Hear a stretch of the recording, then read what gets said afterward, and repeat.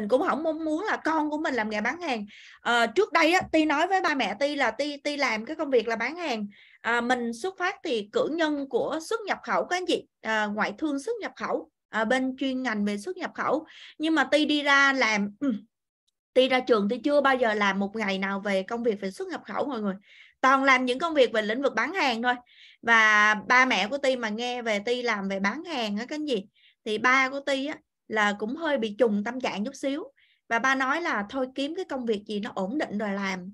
Tại vì con gái mà cứ chạy ngược, chạy xuôi làm lĩnh vực bán hàng thì rất là cực.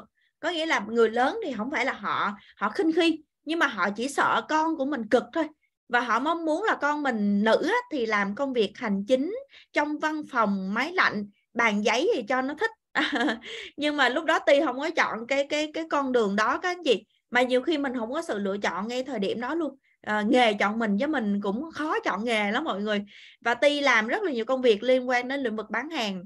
Và luyện à, luyện cái kỹ năng bán hàng từ một cái người rất là nhút nhát không dám mở lời. Mỗi lần gặp khách hàng là mồ hôi của ti là tuôn hết. Dù là ti không có bị phong thấp nha các anh chị nhưng mà mồ hôi mồ hôi con mồ hôi mẹ là tuôn hết luôn các anh chị. Tay là tuôn hết mồ hôi luôn. Và lưỡi của mình nó nó bị cứng đơ luôn và mình không thể nào mà mình mình mình chào khách hàng hay là mình mình nói cái gì hết các anh chị. Và ti đi qua những cái cảm xúc đó. Và những cái cảm xúc đó cho ti được một cái cái cái cái cảm nhận như thế này nè mọi người. À, cho ti được một cái cái kết luận như thế này. Với những anh chị nào mà mình xuất phát điểm là mình không có nhiều kỹ năng và mình không có nhiều kinh nghiệm hoặc là mình xuất phát điểm á các anh chị mình không nằm trong cái lĩnh vực bán hàng á các anh chị. À, mình không sinh ra để bán hàng á các anh chị. À, thì các anh chị được quyền tự tin nếu như các anh chị đam mê và các anh chị muốn chinh phục cái lĩnh vực này vì những gì mà bắt đầu bằng từ kỹ năng á, thì mình đều có thể rèn luyện được hết các anh chị. Còn những gì những ai mà được mặc định được gọi là tài năng hay là bậc thiên tài á các anh chị tôi nói với các anh chị 10 triệu người thì chỉ có một người thôi. À, còn những người bình thường như chúng ta thì những gì được xuất phát từ từ kỹ năng thì đều có đều có thể rèn luyện được hết. Chỉ khác ở chỗ là các anh chị có mục tiêu để các anh chị rèn luyện hay không các anh chị có mong muốn rằng là mình hoàn thành cái kỹ năng này hay không các anh chị? À, với những anh chị nào mà hồi nãy không mình là mình chưa tự tin trong cái việc bán hàng á các anh chị. Mình chưa tự tin á. Thì các anh chị các anh chị hãy mạnh dạn để cho mình một cái cơ hội để mình sống với cái lĩnh vực này để mình hoàn thiện với cái lĩnh vực này. Và những việc gì mà làm cho các anh chị khơi gợi được cái sự nhiệt huyết và đam mê trong cái trái tim mình á, thì ti chắc chắn rằng các anh chị sẽ làm tốt các anh chị. Không những làm được mà còn làm tốt cả nhà. À, và mình mình phải đặt mình trong cái vị trí và sống trong cái lĩnh vực này ha các anh chị ha. Và chúng ta không cần chúng ta không cần phải đối kháng với với những cái nhược điểm của mình hay là những cái những cái yếu tố mà mình chưa hoàn thiện các anh chị và mình hãy sống với nó. Và bắt đầu mình hoàn thiện à, mình cải thiện các chị mình cải thiện mỗi ngày mình đặt mục tiêu cho chính mình và mình biết là mình làm cái điều đó vì cái điều gì mình nhận cái sự từ chối này là vì cái điều gì? Tại sao mình cần phải vượt qua nó? À, kỹ năng này mình cần rèn luyện thêm cái gì các anh chị? Thì ti tin chắc rằng các anh chị sẽ có một ngày viết tên mình vô một cái bảng danh sách là những người bán hàng xuất sắc các anh chị. À, thì đó là cái kinh nghiệm bán hàng của ti các anh chị cái quá trình mà trải nghiệm về bán hàng của ti. À, và khi mà mình bán hàng được cho người lạ rồi các anh chị thì mình rất là tự tin mình bán hàng cho người quen các anh chị. Rất là tự tin các anh chị à, và ngày hôm nay là tiên muốn chia sẻ cái bí kíp này dành cho tất cả các chị. Và cái bí kíp này đó là một trong những cái bí kíp mà tiên rèn luyện qua rất là nhiều dự án à, qua rất là nhiều dự án bán hàng nha các anh chị. Cũng chỉ duy nhất một cái bí kíp này thôi các anh chị. À, đó là bán hàng đường thẳng. Và các anh chị mà muốn học chuyên sâu về cái này á thì các anh chị có thể lên YouTube á các anh chị search ra bán hàng đường thẳng. Cái giáo trình này được xuất phát từ ông Jordan Belfort các anh chị à, một cái người được mệnh danh là sói già ở phố Wall đó các anh chị. À, ông rất là đỉnh. Ông đỉnh ở chỗ là ông rèn luyện được cái kỹ năng bán hàng dành cho chính mình. Bên cạnh đó nha ông còn thành lập được một cái đội ngũ từ những người từ những người mà không có kinh nghiệm về bán hàng. Những người chỉ là phục vụ bàn hay là những kẻ lang thang. À, nhưng mà muốn kiếm tiền cái gì và ông rèn luyện được cho đội ngũ đó trở thành những người bán hàng xuất sắc nhất và bán hàng cho top một phần trăm người giàu của nước Mỹ cái gì à, và sau này á, thì à, ông à, sản xuất ra một cái giáo trình này và truyền đạt lại cho những anh chị nào cho những ai mà mong muốn mà à, rèn luyện về cái kỹ năng bán hàng. Và ông có nói một cái câu như thế này các anh chị tôi mong muốn rằng á là cái giáo trình này nó được đến tay với những người tốt những người bán hàng chân chính. À, vì một khi mà bạn đã học được cái giáo trình này á, thì bạn có thể bán bất kỳ cái thứ gì ở trên đời này các anh chị. Và trước đó thì tôi luyện cái giáo trình này với cái lĩnh vực về tài chính các anh chị và bán hàng cái này nó rất là cơ bản nha các anh chị. Nó có rất là điều ờ, có rất là kiến thức nó rất là cơ bản chứ nó không có chuyên sâu gì hết. Nhưng mà mình áp dụng nhiều các anh chị nó trở thành một cái bản năng của mình luôn. Vậy thì trước khi mà mình đi vào mình bắt đầu vào những cái chi tiết là làm như thế nào thì mong muốn là các anh chị mình định vị được cái tư duy của mình à, mình định vị được cái vị trí của mình. Vì người ta nói định vị á, các anh chị nó sẽ quyết định cái địa vị đôi khi chúng ta rất là vội vàng chúng ta đi vào cái cách làm là làm như thế nào. Nhưng mà chúng ta chưa chuẩn bị cho mình một cái hành trang tư duy chuẩn á, thì nó làm cho chúng ta rất là mất thời gian. Và đôi khi cái quá trình làm của mình nó cái gì mình trở thành một cái người nó khá là mông lung trong cái hành trình của mình. Và bất kỳ một cái chương trình đào tạo bán hàng nào á Ti cũng chiếu cái slide này đầu tiên các anh chị. Và tôi cũng chia sẻ về cái slide này đầu tiên dành cho tất cả các anh chị. Dù đó là cái nghiệp vụ tư vấn hay là cái kỹ năng xử lý từ chối hay là cái kỹ năng chăm sóc khách hàng thì chúng ta đều có những cái tư duy này. Và thử các anh chị mà có giao lưu với những anh chị nào bán hàng xuất sắc các anh chị thì các anh chị sẽ cảm nhận được rằng ở những anh chị bán hàng tốt bán hàng xuất sắc những người mà đang tạo ra nhân số tốt tại Robby thì những anh chị á đều có những cái tư duy này nó lan tỏa ra từ trong người luôn á các anh chị. Nó lan tỏa ra từ trong người từ ánh mắt từ suy nghĩ từ cái cử chỉ của họ và từ lời nói của họ các anh chị à, đầu tiên đó, đó là tư duy tích cực các anh chị. Chỉ có những người tích cực thì họ mới thấy được những con đường trong những lúc khó khăn các anh chị. Còn khi mà chúng ta quá tiêu cực chúng ta cứ nghĩ về những cái bức tranh nó màu xám xịt đó các anh chị thì các anh chị luôn thấy nha một cái con hẻm cùng ở bất kỳ một cái con đường nào. Mình không thấy cái con đường để mình mình đi cái gì nên là những người tư duy tích cực luôn luôn cho mình một cái động lực hay luôn luôn tự nhủ rằng là cố lên và họ luôn luôn vui vẻ để họ đón đầu những cái thử thách các anh chị. Và một cái tinh thần thứ hai đó là tinh thần cầu tiến và ham học hỏi. Vậy thì với cái tinh thần này nó sẽ giúp cho chúng ta nha các anh chị mình mở lòng hơn ở bất kỳ một cái lĩnh vực mới nào. Dù các anh chị đã là một người chiến thắng ở ngọn núi trước kia nhưng khi qua một cái ngọn núi thứ hai á, thì các anh chị sẵn sàng nha mình leo xuống cái ngọn núi mà mình đã leo mình đã đạt đỉnh đó các anh chị để mình đi xuống cái chân núi thứ hai và mình leo lại các anh chị đây là một tinh thần của một người lính mới. Và tinh thần của một người lính mới đó các anh chị luôn luôn nhiệt huyết luôn luôn mở lòng. Họ học hỏi ở mọi khía cạnh. Ở với những người làm tốt á, thì họ học bí quyết. Ở những người mà họ làm với những bạn bè mà làm chưa tốt đó các anh chị thì họ sẽ học được những cái sai lầm những cái kinh nghiệm à, để họ né tránh ra những cái vết xe đổ các anh chị. Và một cái tinh thần thứ ba trong cái lĩnh vực bán hàng mà các anh chị cần phải có đó là cái sự nhiệt tình khi mà mình giúp đỡ khách hàng giải quyết vấn đề các anh chị. À, cái sự nhiệt tình. À, ngoài về tinh thần tư duy tích cực tinh thần ham học hỏi và cầu tiến các anh chị. Và một cái tinh thần thứ ba đó là cái sự nhiệt tình các anh chị.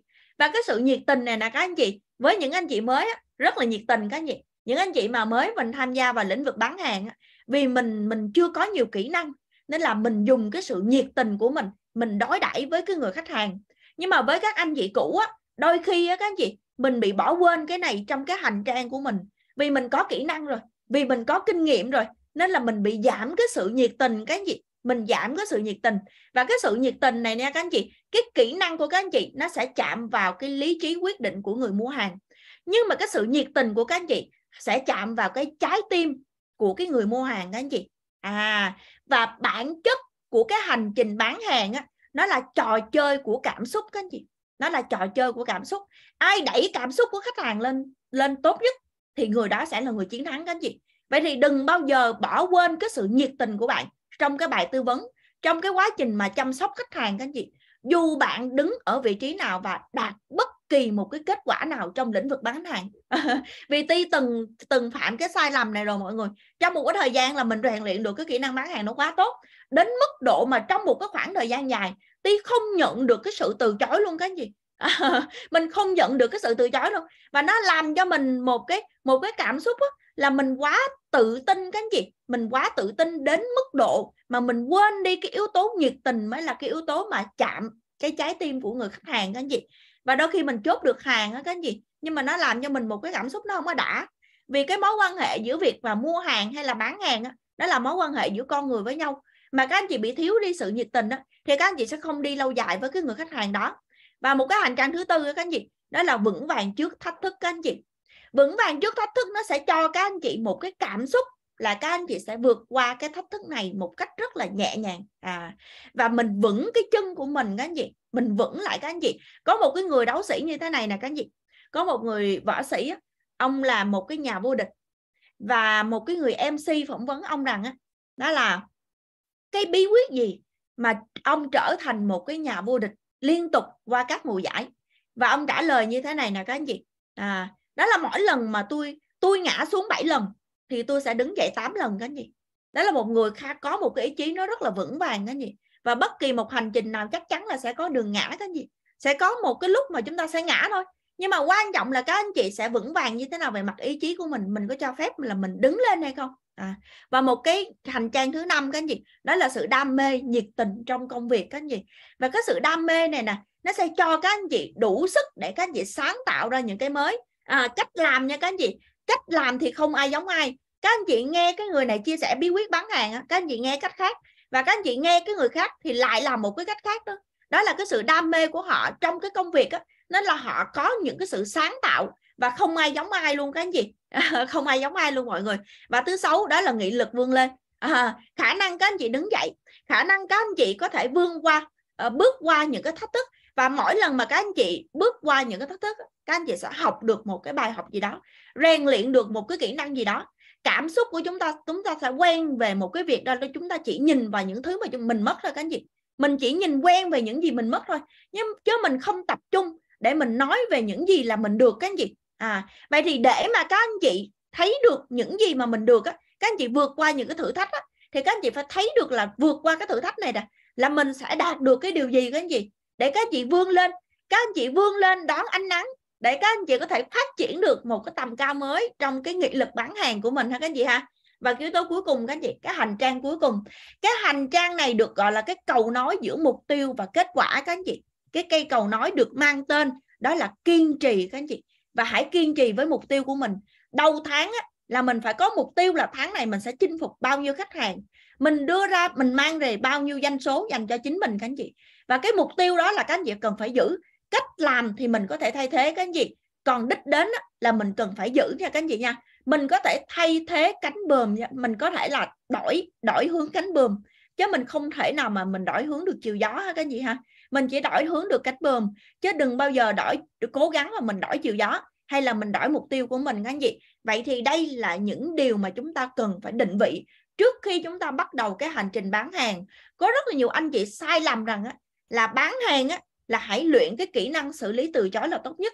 Nhưng mà tôi muốn trao đổi với các anh chị một cái nghệ thuật rằng á là các anh chị sẽ giảm thiểu cái việc mà xử lý từ chối một cách thấp nhất các anh chị. À, vì không ai muốn mình đưa vào một cái dòng là mình phải đối kháng với khách hàng hay là mình phải xử lý từ chối các anh chị. À, vậy thì chúng ta cần phải làm tốt từ cái bước là định vị trong suy nghĩ ha các anh chị ha.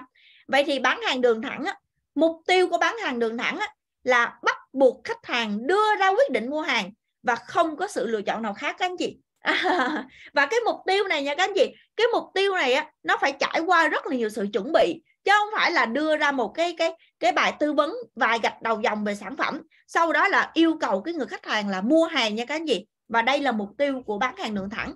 Và khi mà các anh chị luyện được cái kỹ năng này nè các anh chị dù là các anh chị telesale hay là các anh chị bán hàng trực tiếp à thì các anh chị đều có khả năng giúp cho người khách hàng đưa ra quyết định mua hàng các anh chị và đây là mục tiêu của chúng ta các anh chị.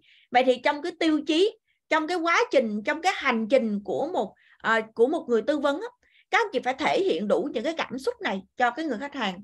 Đầu tiên là thông minh sắc sảo. Thông minh sắc sảo nó sẽ đưa vào cho cái khách hàng cảm nhận rằng cái người tư vấn này là các anh chị họ hiểu được sản phẩm của họ. À họ hiểu được cái người khách hàng các anh chị. Và họ nắm bắt tâm lý của người khách hàng thông qua cái câu chuyện của người khách hàng kể các anh chị.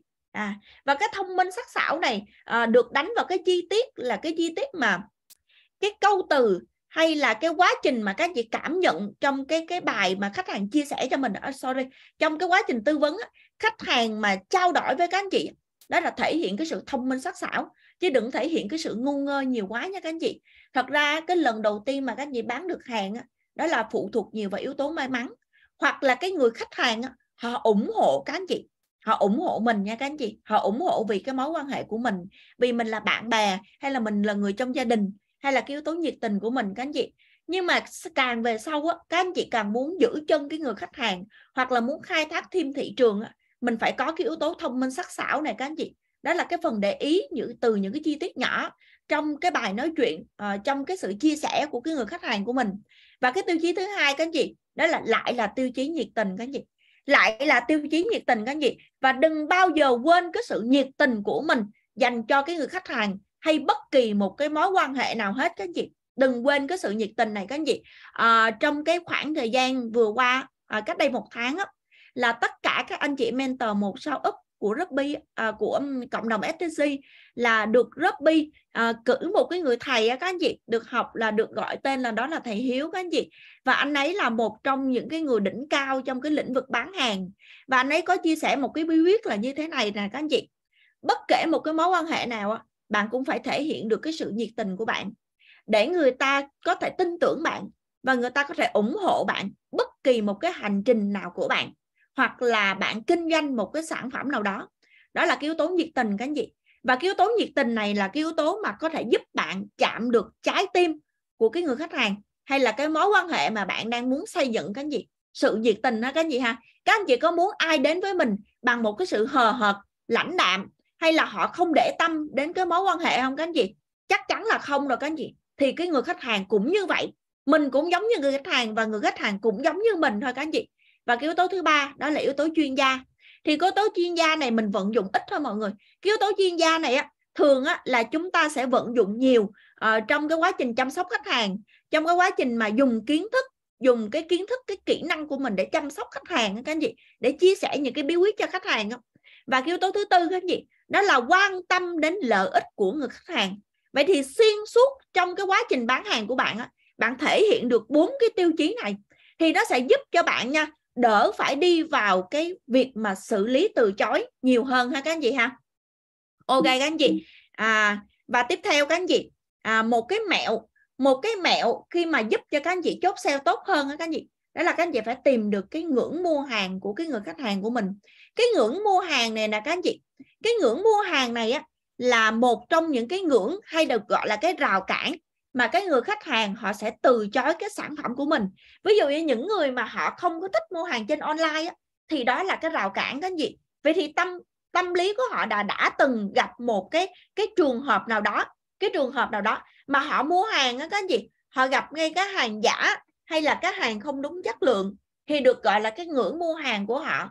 Trong quá khứ của một người khách hàng á, họ đã từng ví dụ như họ mua một cái sản phẩm nào đó sử dụng về chức năng về về về điều trị điều trị nám trên làn da đi. À, nhưng mà họ lại không có hết về cái quá trình và điều trị không có hết cái vết nám đó. Thì cái ngưỡng mua hàng của bạn của cái người đó là các anh chị phải giúp cho họ bước qua được cái cảm xúc là cái sản phẩm trước là không hiệu quả. Vậy thì cái ngưỡng mua hàng á, đó là cái cách mà chúng ta có thể bẻ cong cái suy luận lầm tưởng của người khách hàng. Vì con người hay có một cái cảm xúc là đánh đồng cái gì đánh đồng cái gì đánh đồng giống như là mình bán hàng online, mà trước đó họ mua ba, mua, họ mua hàng online họ không có được một cái trải nghiệm tốt thì họ cũng đánh đồng là mình bán hàng online là như vậy luôn cái gì à hoặc là họ đánh đồng với một cái sản phẩm sức khỏe nào đó mà họ trải nghiệm chưa tốt, không có hiệu quả, thì họ cũng đánh đồng về cái sản phẩm của mình luôn. Thì đó là cái ngưỡng mua hàng của cái người khách hàng của bạn. Việc của bạn là phải giải được cái ngưỡng mua hàng này. Việc của bạn là phải giúp cái người khách hàng bước qua cái ngưỡng mua hàng này vậy thì cái bước giúp cho người khách hàng mà bước qua cái ngưỡng mua hàng này á đúng chính xác nó là trò chơi của tâm lý luôn các anh chị. Trò chơi chiến thắng của cảm xúc. Và các anh chị phải dùng lý trí của các anh chị để giúp cho khách hàng bước qua cái cảm xúc lo sợ của cái người khách hàng ha các anh chị ha được gọi là cái ngưỡng mua hàng. Và trong cái câu chuyện mà các anh chị trao đổi với người khách hàng á, là các anh chị phải nắm được cái ngưỡng mua hàng của người này là ở đâu. À người người này đang có cái quá khứ mua hàng như thế nào họ có những cái nỗi lo gì? À hay là họ lo về cái giá về sản phẩm? Thì giá sản phẩm được gọi là ngưỡng mua hàng. Việc của các anh chị là phải bẻ cong cái suy luận lầm tưởng là giá cao dành cho người khách hàng các anh chị. Một tí ti sẽ chia sẻ, nó nó sẽ chi tiết hơn ha các anh chị ha. Ok cả nhà, vậy thì chúng ta sẽ bước qua này các anh chị. Đây là cái mô hình bán hàng đường thẳng. Cái hành trình bán hàng đường thẳng là chúng ta sẽ đi từ điểm A cho đến điểm B. Nhưng mà chưa có một cái hành trình bán hàng đường thẳng nào mà nó đi trên cái đường thẳng cái gì dù đây được gọi là mô hình bán hàng đường thẳng cái gì, mô hình bán hàng đường thẳng, đó là một cái mô hình ước mơ cái gì. Vậy thì việc của các anh chị á, chúng ta sẽ có một cái đường thẳng để chúng ta giữ chân cái người khách hàng và các anh chị sẽ đi trên cái cái cái giới hạn của cái nội dung là cái bài sale của các anh chị. Cái rip sale của các anh chị được gọi là cái nội dung và cái ngữ điệu của các anh chị, đó là những câu từ mà các anh chị có thể chia sẻ với cái người khách hàng thông qua những cái ngữ điệu sau đây các anh chị vậy thì cái hành trình mua hàng của một người khách hàng hay là bán hàng của các anh chị chưa bao giờ nó nằm trong đường thẳng các anh chị. Có những người họ từ chối về chức năng của sản phẩm thì được gọi là từ chối về mặt nội dung đó các anh chị. Nhưng mà có những người họ từ chối về và họ không tin tưởng về cái người tư vấn của mình thì được gọi là từ chối về cái phần ngữ điệu ha các anh chị ha. Cái này nó hơi nó hơi bị mô hình chút xíu nha các anh chị. Bây giờ tôi sẽ đi chi tiết nè các anh chị. Trong cái kịch bản bán hàng của mình trong cái bài bán hàng của mình nó sẽ có hai nguyên liệu chính. Một á đó là kịch bản bán hàng. À một cái sản phẩm nha các anh chị. Một cái sản phẩm mà các anh chị muốn dễ dàng bán một cái sản phẩm đó thì các anh chị phải có kịch bản của cái sản phẩm đó. Như cái sản phẩm xăm á, thì các anh chị có thể bắt đầu cái câu chuyện là à, nếu như muốn giải quyết giấc ngủ của mình thì bạn hãy quan tâm đến sản phẩm này. Đó là giải quyết về giấc ngủ các anh chị. À, như cái sản phẩm về mỹ phẩm về điều trị nám thì các anh chị đi giải quyết về vấn đề là đặc trị nám à, điều trị nám trên làn da nấm đốm nấm mảng nấm gì đó các anh chị thì được gọi là cái kịch bản bán hàng của một cái sản phẩm nào đó. Và kịch bản này nó sẽ có những cái phần chi tiết sau đây. Đầu tiên đó là về phần chào hỏi. Cái chào hỏi này á các anh chị cái phần chào hỏi này á, là cái phần mà các anh chị có thể chào hỏi người lạ. Nhưng mà đối với người quen á, thì các anh chị có 30% hay được gọi là 4 giây đầu tiên để các anh chị tạo thiện cảm với cái người khách hàng của mình. Và phần này nha các anh chị dù nó chỉ có 4 giây thôi nhưng mà nó lại là yếu tố quyết định cho cái câu chuyện phía sau mình có được tiếp tục hay không các anh chị. Và cái thứ hai được chiếm 40% đó là khai thác nhu cầu và khả năng tài chính của người khách hàng. À vậy thì cái phần thứ hai này nè thì đỉnh cao của cái người bán hàng đó, đó là cái cách mà các anh chị đặt câu hỏi. À, và trong cái phần này yêu cầu cái người khách hàng phải nói nhiều hơn cái người bán hàng thì các anh chị sẽ thành công trong cái phần này chứ phần này không phải là mình nói nha cái mình mình mình người bán hàng là người nói nhiều nha cái gì. Đó là người khách hàng cái gì. Bước qua 20 phần trăm tiếp theo đó là cung cấp về giải pháp liệu trình và cái cách giải quyết vấn đề cho cái người khách hàng. Chỉ chiếm 20 phần trăm thôi và 10 phần trăm cuối cùng là xử lý từ chối. À, vậy thì cái cái phần mà các anh chị cái phần mà các anh chị thấy quan trọng nhất là xử lý từ chối các anh chị. Nó lại là cái phần chiếm 10 phần trăm chỉ có 10 phần trăm trong 100 phần trăm của cái kịch bản bán hàng thôi. Nếu như các anh chị tạo thiện cảm tốt với cái người khách hàng, thì các anh chị sẽ chiếm được 30% giải quyết được 30% các anh chị khai thác tốt về về nhu cầu của người khách hàng không thì các anh chị sẽ đi tiếp là 40% các anh chị, và chia sẻ về thông tin về sản phẩm, nó chỉ có 20% thôi. Vậy thì đây là cái kịch bản bán hàng các anh chị, đây là cái kịch bản bán hàng. Vậy thì cái phần mà 30% về phần thiện cảm đầu tiên á nó có thể là thiện cảm từ hình ảnh ở trên profile của mình từ cái tư duy của mình hay là cái từ, từ cái cách mà các anh chị tiếp cận đến cái người khách hàng của mình. À, đó là cái cách mà tạo thiện cảm hay cái chị ha. Vậy thì cái nguyên liệu thứ hai á, trong cái quá trình hành trình bán hàng đó là cái ngữ điệu các anh chị đó là cái ngữ điệu.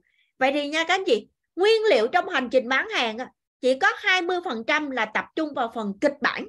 À, và ai cũng phải chuẩn bị cho mình một cái kịch bản các anh chị không có kịch bản nào mà giống cái kịch bản nào hết các anh chị. Cái kịch bản là chẳng qua là là mình chào hỏi làm sao các anh chị sẽ bắt đầu cái câu từ nào. Các anh chị ở miền Bắc sẽ chào hỏi khác với các anh chị miền Trung. Và các anh chị miền Trung cũng tạo thiện cảm khác với những anh chị ở khu vực miền Nam. À, nó phụ thuộc vào chính mình đó các anh chị. Nó phụ thuộc vào cá nhân của mình cái phong thái của mình hay là cái cách mà mình hay trao đổi giao tiếp hàng ngày đó các anh chị. Phụ thuộc vào cái thói quen của mình các anh chị à, đó là cái kịch bản các anh chị.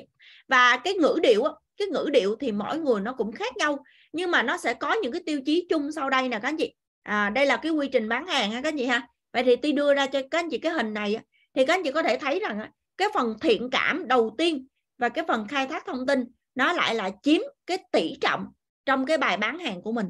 Chứ không phải là cái phần mà nói nhiều về sản phẩm chứ không phải là cái phần nhiều về phần xử lý từ chối nha các anh chị chúng ta sẽ đi một cái bài bán hàng như thế nào để các anh chị nhẹ cái phần xử lý từ chối nhất. Nhưng mà trong cái zoom ngày hôm nay là ti vẫn chia sẻ về cái phần xử lý từ chối là như thế nào các anh chị. Đây cả nhà, chúng ta sẽ có những cái kỹ thuật sau đây. Những điều mà cần lưu ý trong cái quá trình bán hàng mà các anh chị muốn luyện được cái bí kíp bán hàng đường thẳng các anh chị. Cái phần đầu tiên là phần ngữ điệu các anh chị. Cái ngữ điệu nó lại chiếm số đông nha, chiếm cái phần lớn trong cái hành trình bán hàng của mình. Cái đầu tiên là cái ngữ điệu khan hiếm các anh chị cái khan hiếm này nè nó sẽ khơi gợi cái người khách hàng á, họ tạo cái cảm xúc là muốn sở hữu cái sản phẩm này hơn.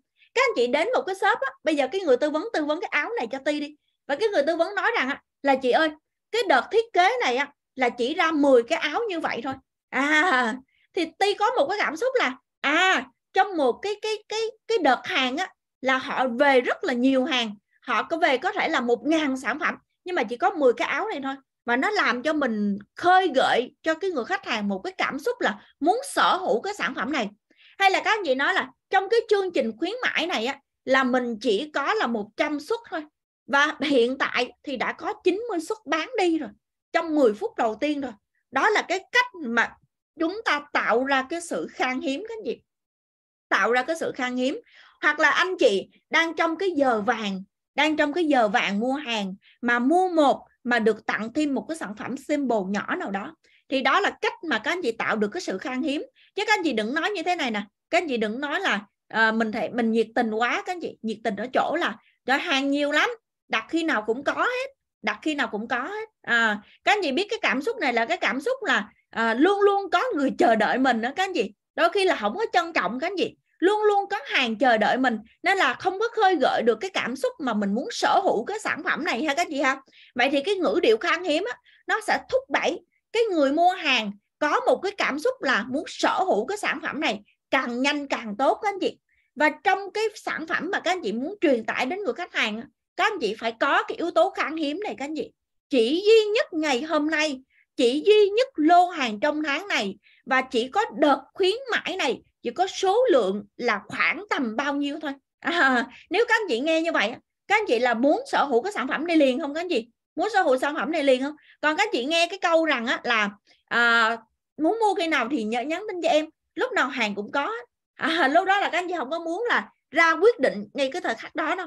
Nên là trong cái việc bán hàng bằng đường thẳng á các anh chị là làm cho cái người khách hàng ra quyết định trong cái lần đầu tiên mà họ nghe tư vấn về sản phẩm luôn. Đó là cái yếu tố khan hiếm các anh chị cái ngữ điệu khan hiếm các anh chị mình sẽ vận dụng trong cái quá trình là mình chốt đơn mình chốt đơn hoặc là mình chốt khuyến mãi. Và những cái người khách hàng mà kể cả là ti chăm sóc lại khách hàng cũ nha ti không bao giờ bán lại một sản phẩm đâu các anh chị và ti luôn luôn nói với người khách hàng như thế này nè chị chị phải phải dự phòng chị lấy một cái lọ mà dưỡng á, chị phải dự phòng thêm một cái lọ nữa để phòng hờ mà hàng mà mình khó về á chị là mình không có đâu tại vì bây giờ trải qua những cái giai đoạn dịch bệnh rồi á, thì hàng hóa lưu thông nó cũng khó lắm. Dù là mở cửa rồi nhưng mà nó cũng khó. Cái gì? Phòng cái trường hợp hết hàng nha chị. Bây giờ là mình chỉ còn có số lượng ít thôi đó chị, chứ không nhiều đâu. Em cập nhật kho. Và chị ấy luôn luôn ra quyết định là lấy hai lọ, lấy hai lọ. Dù là sản phẩm còn nhiều có gì. Cái này mình không phải là mình mình nói dối người khách hàng nha. Các anh chị đừng có mang cái cảm xúc là mình nói dối người khách hàng nha. Mình chỉ mong muốn là cái người khách hàng họ liên tuần cái liệu trình thôi các anh chị các anh chị có biết là cái cảm xúc mà khi mà họ cần hàng, mà họ không có hàng để dùng á các anh chị thì họ sẽ sẽ quay sang họ trách mình đó các anh chị nên là mình phải biết là đây là cái ngữ điệu, và đây là cái cách tư vấn, và đây là cái cách chốt đó. nó sẽ giúp cho cái người khách hàng, họ duy trì cái cách dùng của họ, cái cái sử dụng sản phẩm của họ một cách thường xuyên, và cũng giúp cho các anh chị nha, cũng giúp cho cái quá trình mà chăm sóc của các anh chị nó sẽ nhẹ nhàng hơn. Các anh chị sẽ đỡ rơi vào cái tình trạng là khách hàng muốn sử dụng sản phẩm đó mà không có, các anh chị đó là cái ngữ điệu khan hiếm các anh chị. Và cái ngữ điệu thứ hai, đó là cái ngữ điệu chắc chắn. Và cái ngữ điệu chắc chắn này nè, nó, các anh chị sẽ vận dụng nhiều trong cái quá trình mà các anh chị chốt sale và cái người khách hàng từ chối hoặc là hỏi lại các anh chị. Đôi khi các anh chị tư vấn một cái sản phẩm nào đó, khách hàng rất là an tâm, khách hàng rất là muốn sử dụng rồi. Nhưng mà họ lo sợ các anh chị, thì họ sẽ quay sang, họ nói, hỏi các anh chị một cái câu hỏi như thế này. Dùng có thật sự hiệu quả không em? Có nghĩa là họ quay sang họ hỏi các anh chị một cái câu hỏi nó rất là thân thương. Nó cần một cái sự tư vấn của mình đó các anh chị. Nhưng mà cái cách trả lời của các anh chị nha, cái ngữ điệu của các anh chị nó không chắc chắn nó ậm à hoặc là nó có một cái sự thói lui, hoặc nó không dứt khoát các anh chị. Thì nó làm cho cái người khách hàng cảm xúc và bị tụt cảm xúc và họ sẽ dừng lại cái việc mà họ muốn sở hữu cái sản phẩm của các anh chị. Vì họ chưa tin tưởng các anh chị. Vậy thì cái yếu tố mà trả lời của các anh chị nó phải thể hiện được một cái ngữ điệu chắc như là đinh đóng cột vậy các anh chị. Cái này dùng hiệu quả không em? Em chắc chắn với chị là nó sẽ hiệu quả chị. À, với cái vấn đề của chị chị ví dụ sử dụng là 3 ngày 5 ngày 7 ngày hay hai tuần gì đó với cái liệu trình mỗi một cái sản phẩm mà các chị sử dụng nha. Hoặc là cái cái máy rửa chén này rửa sạch không em? Em chắc chắn với chị sạch mà bon kinh kích luôn hả chị. Sạch đến mức độ mà còn diệt vi khuẩn đó chị. Đó là cái việc mà chắc chắn của các anh chị. Còn khách hàng mà hỏi các chị mà các anh chị nè ờ thì thì em chắc chắn là nó sẽ sạch. Máy máy rửa thì chắc chắn là sạch hơn người rồi chị. Có nghĩa là cái câu này các anh chị cái ngữ điệu và cái cách chia sẻ này nó làm cho cái người khách hàng họ mang một cái cảm xúc đó các anh chị nha. Họ mang một cái cảm xúc đó, họ chưa đủ tin tưởng họ chưa đủ tin tưởng cái sản phẩm này. Vì cái người tư vấn họ có một cái cách là họ thối lui cái gì họ thối lui họ chần chừ nên là họ không tin tưởng để ra quyết định cái gì vậy thì trong những lúc chốt sale của các anh chị trong những lúc mà khách hàng hỏi lại các anh chị các anh chị có đưa ra được cái ngữ điệu chắc chắn này hay chưa? Hay những lần mà mình mình mình bán hàng thất bại các anh chị đó là những lần mà mình không dám chắc chắn và không dám cam kết với người khách hàng các anh chị. Cái giá trị cam kết nó hay lắm nha các anh chị nha. Cái giá trị cam kết đó, nó làm cho cái người nghe họ tự tin hơn là họ mua hàng với mình. Bây giờ các anh chị đi ra đường các anh chị không biết đường các anh chị gặp một người lạ mà các anh chị hỏi đường đi nhưng mà cái người đó là họ trả lời các anh chị là ờ, thì em thì ờ, bây giờ là em cũng không biết nữa chắc là chị đi đến tay cái ngã tư á, chị để trái á, em nhớ là cái địa điểm của chị hỏi là nó nằm bên bên tay trái á. chị đến ngã tư chị đã trái rồi sau rồi chị tính tiếp đó là tự nhiên á, là mình nghe cái cảm xúc như vậy á, là mình không muốn đi con đường đó luôn. Và mình sẽ tìm việc của mình là sẽ làm như thế nào cái gì? Mình tìm cái người thứ hai để mình hỏi các anh chị. Nhưng mà khi mà các anh chị chỉ được các anh chị chỉ như thế này bây giờ em đi đến ngã tư. Cái ngã tư đầu tiên rẽ trái. Rồi em rẽ trái em chạy cỡ 300 mét. Mà em gặp cái nhà màu xanh bên tay trái á, thì em đi vào cái con hẻm trong cái nhà màu xanh đó. Kế bên cái nhà màu xanh đó thì em sẽ gặp được cái địa điểm mà em em muốn tìm. Các anh chị nghe cái cái cách chỉ đường như vậy các anh chị nghe chắc không? Và các anh chị có thể hỏi lại anh anh có anh có chắc chắn là cái địa điểm em tìm là trong đó không? Anh chắc chắn với em tại vì chỗ này anh đi rồi. À, em chắc chắn với chị tại vì cái này em trải nghiệm rồi em chắc chắn với chị khách hàng của em dùng hiệu quả nhiều lắm. Đó là cái khả năng chắc chắn và cam kết chốt sale của các anh chị á. Thay vì khách hàng chưa tin tưởng thì các anh chị chỉ cần có một cái ngữ điệu chắc chắn thôi thì họ an tâm rất là nhiều các anh chị. À và cái ngữ điệu thứ ba nè. Cái ngữ điệu thứ ba là cái ngữ điệu mà các cái ngữ điệu đồng cảm các anh chị. Và cái ngữ điệu này các anh chị sẽ sử dụng nhiều trong cái yếu tố đó là các anh chị à, xử lý từ chối của người khách hàng nha. Còn cái chắc chắn á, là cái yếu tố mà các anh chị cái trường hợp mà các anh chị cam kết với người khách hàng. À còn cái đồng cảm á, là khi khách hàng đã xảy ra từ chối rồi họ đã từ chối mình rồi thì các anh chị sẽ dùng cái ngữ điệu này. Vậy thì cái ngữ điệu đồng cảm á, là để mà các anh chị đồng cảm được á, thì các anh chị phải có mặt trong cái câu chuyện của người khách hàng kể. Chứ đừng bao giờ bắt đầu bắt đầu một cái mối quan hệ với người khách hàng bắt đầu cái bài bán hàng của mình và mình chỉ tập trung mình thôi các anh chị. Các anh chị mà chỉ tập trung mình thôi á, thì các anh chị sẽ không nghe được không nghe được cái câu chuyện của người khách hàng là chia sẻ như thế nào. Bây giờ họ chia sẻ là họ có chia sẻ trước đó là bây giờ là con chị là đang trong cái giai đoạn nhập học nên là chị không có nhiều tiền để chị mua cái này chắc là chị hẹn em đợt sau. À, đó là nếu mà các anh chị các anh chị không nghe cái câu chuyện trước đó là đây là mùa tụ trường con chị phải đi học phải tốn nhiều rất là nhiều chi phí thì làm sao các anh chị có thể đồng cảm được các anh chị? Vậy thì đồng cảm á, là đồng cảm với cái nỗi đau đồng cảm với cái khó khăn đồng cảm với cái rào cản của cái người khách hàng, chứ đừng bao giờ đối đầu với cái sự từ chối của họ. Trời gì mà không tiền chị? Cái lọ này có bao nhiêu đâu mà không tiền chị? Đó là cái cách xử lý rất là vô duyên luôn á. Và không có không có một cái gì đồng cảm hết. Mà cái người khách hàng mà họ nghe các anh chị xử lý như vậy họ nghe mình lỡ lờ nói như vậy các anh chị, thì cái người khách hàng có cảm xúc rằng là thôi, cái bạn bán hàng này chẳng có tâm gì hết. Bạn bán hàng này chẳng có hiểu người khác gì hết. Chẳng có đặt mình vào vị trí người khác gì hết các anh chị có à, muốn các anh chị sẽ gặp những người bán hàng như vậy không? Thì cái người khách hàng cũng cũng như vậy các anh chị. Họ cũng mong muốn là gặp được một cái người khách hàng có thể đồng cảm được trong cái câu chuyện trong cái khó khăn của họ. Vậy thì cái ngữ điệu đồng cảm á, nó sẽ giúp cho các anh chị nha. Nó sẽ giúp cho các anh chị nó vượt qua cái sự từ chối một cách nó rất là nhẹ nhàng. Vì các anh chị hiểu được cái người khách hàng của mình đứng vị trí của một người khách hàng của mình các anh chị. À và một tí thì sẽ sẽ có cái kỹ thuật về đồng cảm thì chia sẻ cho mọi người. Bước qua cái phần thứ hai trong cái nguyên liệu bán hàng đường thẳng đó, đó là 3 điểm 10 các anh chị. Và 3 điểm 10 này nè các anh chị thể hiện xuyên suốt trong cái quá trình mà mình chia sẻ về sản phẩm. À, vậy thì 3 điểm 10 chúng ta sẽ tập trung vào ba điểm 10 nào? Điểm 10 đầu tiên đó là về sản phẩm.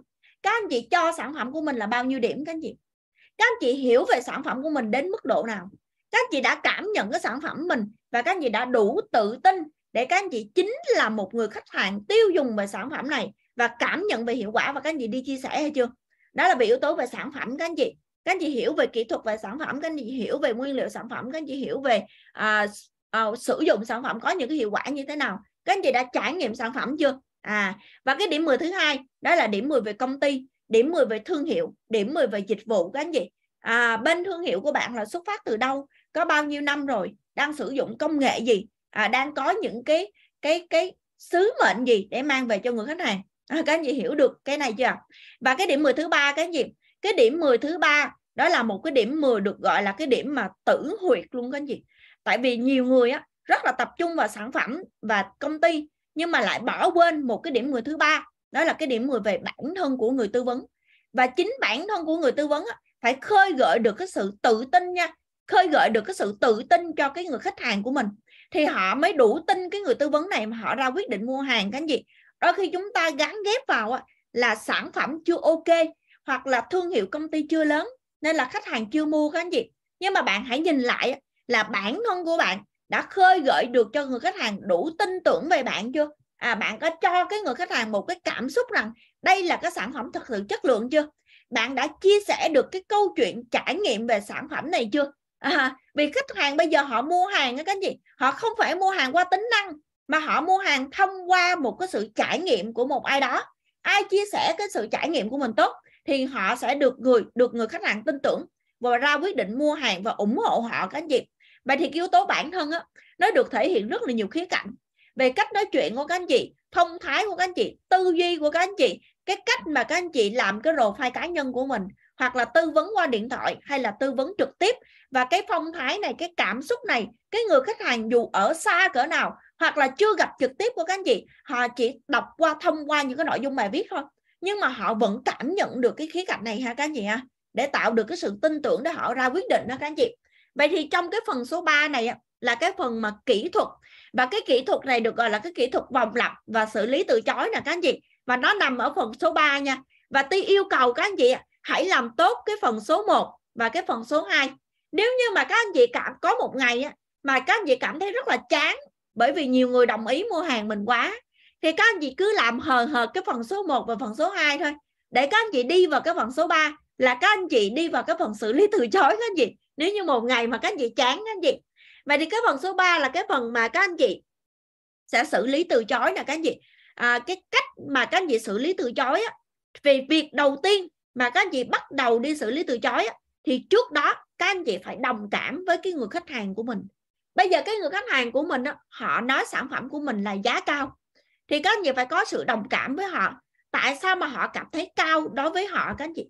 Tại sao và các, các họ lại cảm thấy cao với đối với họ các anh chị? À, và cái có thể là à, tài chính của họ là đang có rất là nhiều nỗi lo hoặc là họ đang làm ăn không được hay là công việc có trục chặt gì đó hay là con cái của họ là phải học thêm học bớt học chính ở trường gì đó nên là tốn rất nhiều chi phí nên là họ không có tiền để họ mua cái sản phẩm này. Thì cái việc đồng cảm của các anh chị là em hiểu là cuộc sống của chị là có rất nhiều nỗi lo. Hoặc là em có thể hiểu được á, là hiện tại là chị phải chăm con là phải chi tiết rất là nhiều. Nhưng mà chị có chị có thể biết được rằng là nếu là bản thân của chị khỏe hơn hoặc là da của chị đẹp hơn chị có thể tự tin hơn và chị có thể đi kiếm tiền được nhiều hơn để chăm sóc cho gia đình. Vậy thì trước đó nha các anh chị trước đó là một cái câu đồng cảm mà các anh chị đồng cảm vào cái hoàn cảnh của cái người khách hàng. Và sau khi mà các anh chị đồng cảm rồi á thì các anh chị đừng tập trung về tiền và đừng tập trung về giá sản phẩm nữa mà hãy tập trung vào cái hiệu quả sử dụng sản phẩm. Cái người khách hàng mà từ chối các anh chị á, là hiện tại mà anh chị không có tiền sau khi mà họ nghe hết cái bài sản phẩm của các anh chị á, là biết là họ muốn mua rồi các anh chị. Nhưng mà họ có những cái khó khăn riêng của họ. Vậy thì việc của các anh chị á, là đừng tập trung vào cái khó khăn đó đừng tập trung vào cái nguyên nhân từ chối đó, mà hãy tập trung vào hiệu quả sử dụng sản phẩm. Hãy tập trung chia sẻ về trải nghiệm và hãy tập trung vào một cái bức tranh ở tương lai để cái người khách hàng có thể thấy được họ ở bức tranh tương lai được khỏe hơn, được đẹp hơn hoặc là cuộc sống được chất lượng hơn cái gì đó là cách xử lý từ chối cái gì đó là cách xử lý từ chối đừng tập trung vào giá, đừng tập trung vào tính năng và sản phẩm, mà hãy tập trung vào hiệu quả sản phẩm truyền tải câu chuyện về sử dụng sản phẩm của cộng đồng, của những người khách hàng, của chính các anh chị. Đó là cách xử lý từ chối một cách đẹp nhất mà không đưa vào người khách hàng phải đứng vào cái vị trí là phải nhìn vào cái vấn đề của họ nữa các anh chị. Bản thân người khách hàng hay người bán hàng đều có những vấn đề riêng. Nhưng mà quan trọng ở chỗ nha các anh chị, quan trọng ở chỗ á, mà các anh chị cho người khách hàng thấy được rằng cái hiệu quả sử dụng sản phẩm ở trong tương lai. Cái sự trải nghiệm của họ nâng cấp cuộc sống của họ trong tương lai thì người khách hàng rất là dễ dàng họ ra quyết định. Họ quyết định họ mua hàng vì hiệu quả sử dụng chứ không phải là vì sản phẩm ngay thời điểm hiện tại hay không phải là vì giá sản phẩm ngay thời điểm hiện tại các anh chị. À, vậy thì cách tốt nhất là vẽ bức tranh ước mơ cho người khách hàng cho người khách hàng thấy được chính bản thân mình sẽ cải thiện như thế nào ở trong tương lai nếu sử dụng sản phẩm này các anh chị vậy thì cái kỹ thuật chốt sale của các anh chị cái sự kỹ thuật xử lý từ chối của các anh chị nó có một cái kỹ thuật đó, đó là giảm giá hay là khuyến mãi đó các anh chị thì tôi khuyên nha cái giảm giá và khuyến mãi là các anh chị nên sử dụng sau cùng chứ các anh chị đừng có bao giờ mà mình sử dụng đầu tiên nha giống như bây giờ các anh chị khách hàng mà từ chối lần một các anh chị nói là bây giờ đang có chương trình khuyến mãi thật ra cái lần một của họ họ chưa đủ cảm xúc đâu khách các anh chị xử lý từ chối mà các anh chị xử lý tới lần ba rồi các anh chị hãy đưa ra cái cái cái chương trình mà khuyến mãi các anh chị đó là cái cách mà mình chốt sale sau cùng. Do là ngày xưa cái gì? Do ngày xưa tí bắt đầu kinh doanh cùng với lobby là chương trình khuyến mãi mình cũng phải tự ra tự nghĩ tự nghĩ. Và cái chi phí mà khuyến mãi á, là mình cũng phải tự bỏ ra cái gì? Nên là thường á, là giảm giá hay là khuyến mãi là ti sẽ sử dụng sau cùng. Hoặc là các gì giảm giá cho người khách hàng của mình thì các anh chị cũng phải dụ sử dụng cái tuyệt chiêu này sau cùng các gì chị. Tại vì mình giảm giá trước á, thì người ta nói cái hàng mình nó hàng oi hàng rẻ các anh chị. Nên là giảm giá nó phải là giảm giá sau cùng. Vì là em rất là quý chị. Vì là em rất là quý anh. Vì là em rất là là, là cảm muốn gửi lời cảm ơn đến anh. Nếu như mà anh sử dụng cái sản phẩm ủng hộ em hoặc là em muốn gửi lời cảm ơn tri ân đến chị vì chị đã sử dụng sản phẩm em trước đó và bây giờ em muốn là gửi cái phần khuyến mãi này dành cho chị. Đó là phần giảm giá mình sử dụng sau cùng hay các anh chị ha. Vì trong cái bốn phần của chúng ta trong cái kỹ thuật bán hàng đường thẳng á, nó đi qua bốn phần là một phần ngữ điệu. Phần thứ hai là phần 3 điểm 10 các anh chị 3 điểm 10 trong hành trình mà mình tư vấn. Phần thứ ba chúng ta chỉ có cái phần nhỏ là xử lý từ chối thôi. Và các anh chị hãy nghe cái lời khuyên của Ti nè. Mình hãy làm tốt cái phần ngữ điệu và cái phần 3 điểm 10 thì cái hành trình mà từ chối xử lý từ chối của các anh chị nó rất là nhẹ các anh chị. Nó không có xảy ra nhiều để các anh chị xử lý từ chối. À, và việc của các anh chị phải thể hiện đúng cái thời khắc nào là ngữ điệu khan hiếm. Cái thời khắc nào mà mình sử dụng được cái ngữ điệu chắc chắn là cái ngữ điệu cam kết đồng hành đó các chị cái thời khắc nào là các chị sử dụng cái ngữ điệu đồng cảm là trong quá trình mình xử lý từ chối đó các chị và để các chị xử lý từ chối tốt hãy đứng vị trí của một người khách hàng thì các anh chị sẽ đứng các anh chị sẽ xử lý từ chối tốt chứ các anh chị đừng bao giờ đứng vị trí đối diện người khách hàng hay là đối đầu với người khách hàng các anh chị thì các anh chị sẽ đưa vào mình vào một cái thế các anh chị mình và một người và người khách hàng đưa vào một cái vị trí là mình phải đối kháng với nhau và mình đối kháng là mình phải tranh luận và cái tranh luận á không bao giờ đưa ra được một cái quyết định mua hàng một cách một cách chính xác đâu các anh chị. Và nó cũng không giúp cho người khách hàng là mua hàng à, sử dụng dịch vụ của mình hoặc là mình sở hữu được người khách hàng đó các anh chị. Và một cái yếu tố cuối cùng mà các anh chị cái cách mà các anh chị truyền tải cho sản phẩm cho người khách hàng hoặc là quá trình mà các anh chị xử lý từ chối mà các anh chị muốn truyền tải người khách hàng là các anh chị biết nêu cảm xúc cho cái người khách hàng.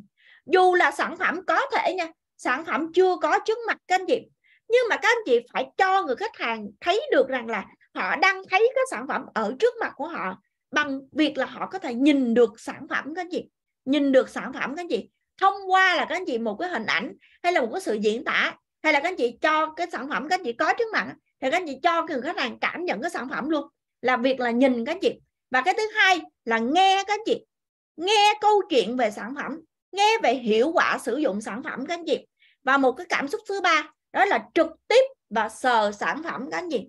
À, đây là cách bán hàng nha các anh chị. Phải cho khách hàng á là mắt thấy nè tai nghe nè các anh chị. Tai thì sờ các anh chị. Còn việc cảm nhận về vị giác và khu giác luôn các anh chị. Đó là cho khách hàng cảm nhận tất cả các giác quan về cái sản phẩm của mình.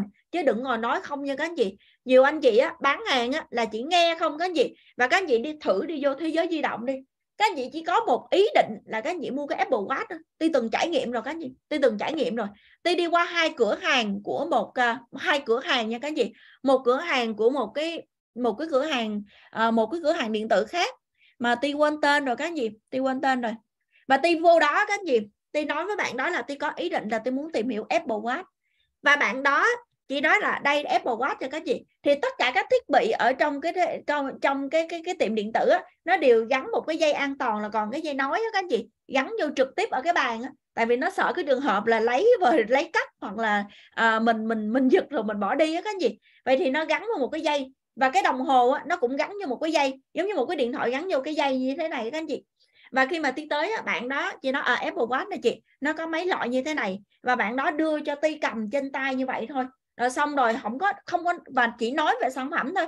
Và cái giờ đó là như tôi cảm nhận là gần cái giờ nghỉ trưa nên là bạn đó hơi lười lười cái gì và bạn đó chỉ nói và đơn giản vậy thôi và im lặng. Cho ti đứng cầm cái Apple Watch, ti lắc qua lại và ti coi. Tôi có biết, ti có biết sử dụng Apple Watch đâu các anh chị. Và ti cũng chưa từng sử dụng Apple Watch mà trước đó ti cũng chưa từng tìm hiểu gì luôn. Nên là ti đến đó ti chỉ cầm qua cầm lại thì mình nói ờ này chả có gì hay hết à, thấy ờ, ti để xuống luôn. Và ti cảm ơn em. Và ti đi qua cái cửa hàng. Và em đi nói là thôi nếu mà có ý định mua thì đi tìm hiểu cho kỹ đi. Đi qua cửa hàng khác xem ta tư vấn sao. Thì ti đi qua thế giới di động các chị. Và cái bạn tư vấn rất là nhiệt tình nha các chị.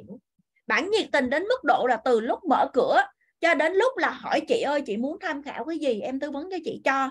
Và cũng ti cũng nói là ti muốn tham khảo Apple Watch. Và bạn ấy dẫn đến. Và bạn ấy là Apple Watch của em nó có mấy size nè chị size này size này nè chị. Và ti cứ cầm và xong rồi ti cầm nha các anh chị nha ti cầm trên tay bạn ấy bấm bạn ấy đưa tay và bạn ấy bấm cho ti trải nghiệm cái màn hình là như thế nào. Và bạn ấy chốt lại một câu như thế này nè các anh chị. Chị chị mua Apple Watch là chị phải đeo thử. Chị phải đeo thử chị mới cảm nhận được. Dù là ti thấy đeo thử thì nó cũng cảm nhận giống như là à, có nghĩa là cái lúc mà mình đeo thử thì cái đồng hồ mình nhìn trên tay hoặc cái đồng hồ mình đeo lên tay mình rồi thì nó cũng như vậy cái gì nhưng mà khi mà mình cho khách hàng cảm nhận đến việc là thực hiện chức năng của cái sản phẩm đó đồng hồ là phải đeo lên tay, là đeo lên tay, bắt đầu ti đeo lên tay, bắt đầu ti mới có cảm xúc là ti đang muốn mua cái đồng hồ nó nó được mạnh mẽ hơn anh chị. Còn lúc đầu nó chỉ là ý định thôi. Vậy thì khách hàng, các anh chị mà tư vấn mỹ phẩm á, mà các anh chị chỉ nói không không á, thì thay vì các anh chị nói không không á, các anh chị đưa ra cảm xúc trải nghiệm sản phẩm như thế nào, khách hàng trải nghiệm trực tiếp là như thế nào. Còn khách hàng trên online các chị, ngày xưa nha, ti không có cơ hội ti gặp trực tiếp khách hàng, tại vì khách hàng ở xa. Và khách hàng ở xa, các anh chị biết làm gì ti video call các chị hoặc là TV quay video lại. Mỗi một cái lần khách hàng tư vấn á, là ti đều quay cái video mới lại các anh chị. Và ti quay là chị đây cái tinh chất của nó nó đang có cái màu này nè chị. Nó sền sệt như sữa chua như thế này. Và em tán ra nó có một cái ánh hồng này. đây là cái bài bán hàng của ti ngày xưa các anh chị. Đó. cách cho khách hàng cảm nhận dù là khách hàng ở xa nhưng mỗi một lần nha vẫn quay video trực tiếp các anh chị. Vậy thì các anh chị nêu cảm xúc cho người khách hàng càng nhiều cái giác quan đó, thì cái quyết định mua hàng và trải nghiệm sản phẩm của khách hàng nó càng lớn các anh chị vì họ là một người sử dụng sản phẩm. Các anh chị cho họ một cái vị trí là một người sử dụng sản phẩm rồi, chứ không phải là một người chỉ để nghe nữa các anh chị. Vậy thì có anh chị nào mà sai lầm mà cứ đi tư vấn khách hàng mà chỉ nói không các anh chị? Chỉ nói không á, thì các anh chị chỉ cho người khách hàng là chỉ khơi gợi được người khách hàng một cái giác quan thôi. Đó là cái lỗ tai thôi các anh chị, thính giác thôi các anh chị. Mắt họ chưa nhìn thấy nè các anh chị vị giác họ chưa ngửi được và tai của họ chưa sờ được cái sản phẩm của mình, thì làm sao mà tư vấn? Làm sao mà chốt sale, các anh chị? Thì càng lúc thì càng bị từ chối thôi. Các anh chị có đồng ý với ti như vậy không, các anh chị? Nếu như các anh chị đồng ý thì cái bài bán hàng của mình mình phải làm lại, các anh chị. Đôi khi mình nghĩ như thế này là tốt, các anh chị. Nhưng mà có những người họ luyện một cái kỹ năng nào đó, nó tốt hơn, một cái bí quyết nào đó, nó đỉnh hơn, các anh chị. Và những cái bí quyết này là các anh chị. Các anh chị chỉ cần luyện đúng những cái kỹ năng này thôi tất cả các sản phẩm các anh chị đều có thể bán được. Việc có các anh chị khi mà bán một cái sản phẩm mới á, là các anh chị chỉ cần học tính năng về sản phẩm thôi. Nhưng mà bản chất hành trình bán hàng nó cũng có những điều này thôi các anh chị. Ngữ điệu 3 điểm 10 kỹ thuật vòng lặp và neo cảm xúc để chốt sale các anh chị. Chỉ có bốn cái phần này thôi cứ đi quanh qua quẩn lại thôi các anh chị. Ngày trước á là ti tư vấn cái sản phẩm này về tài chính đó các anh chị. Và ti cũng tư vấn là cũng đúng những cái kỹ thuật này tạo cảm xúc đúng bốn cái cho bốn cái phần này cho cái người khách hàng và sau này mà ti tư vấn về sản phẩm về làm đẹp, thì cũng sử dụng đúng bốn cái ô này thôi các anh chị. Chứ không có cái gì khác hết. Ok cả nhà. Vậy thì đó là một cái bài viết bán hàng các anh chị. Đó là một cái vòng lọc kỹ thuật để xử lý từ chối. Và cách mà các anh chị vẽ được cái bức tranh ước mơ của cái người khách hàng đó các anh chị. Để cho họ thấy được là chính họ đang ở trong cái bức tranh đó. Có thể là rất hầu như những anh chị sử dụng sản phẩm này đều có cái hiệu quả này. À, à, và khi mà nghe cái câu đó các anh chị đây là những cái câu từ khai quả ha các anh chị ha câu từ khai quả. Hầu như những người sử dụng sản phẩm đều có cái cảm nhận này đều hiệu quả cái phần này. Đây là câu từ khai quả các anh chị. Hoặc là sản phẩm nếu mà các anh chị nói về giá các anh chị dùng một cái từ này nè chỉ có chỉ có.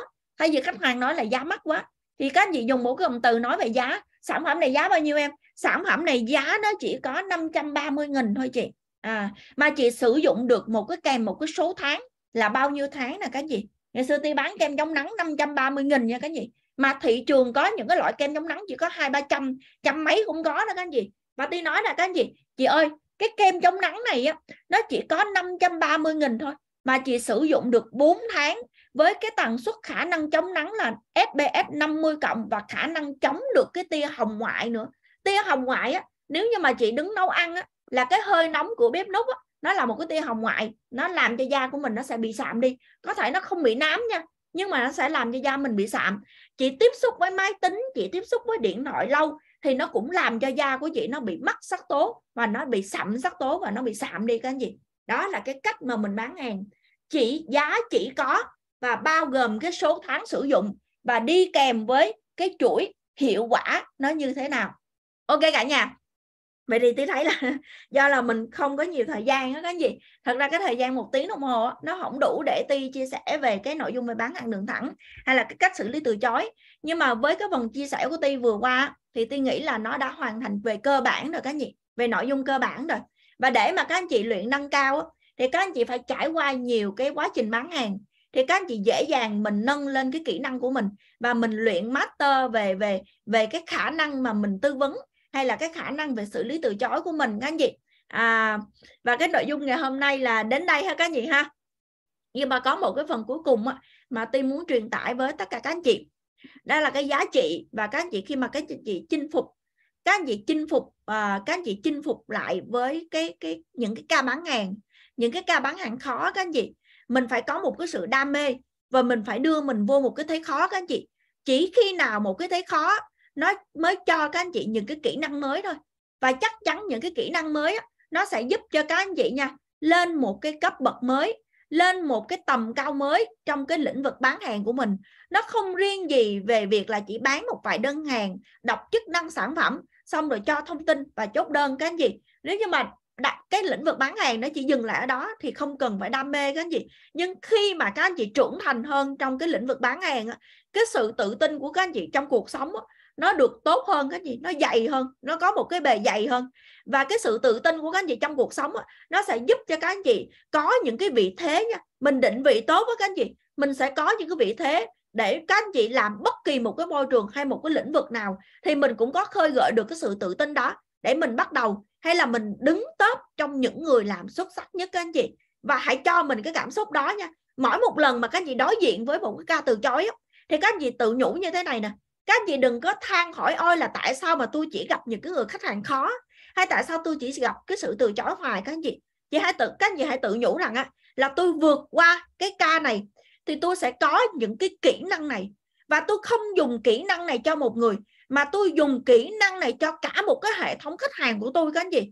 Bất kỳ một cái ca nào mà các anh chị gặp sau đó, mà các anh chị gặp cái ca này lặp lại các anh chị, các anh chị đều biết cách xử lý các anh chị nên các anh chị thấy giá trị của việc mà mình vượt qua cái cái khó, mà mình vượt qua những cái thử thách, hay là mình vượt qua từ chối không các anh chị? Nó vô cùng giá trị luôn các anh chị. Và một ngày nha, một ngày á, các anh chị thấy được cái giá trị này, thì các anh chị xử lý từ chối một cách nó rất là tuyệt vời.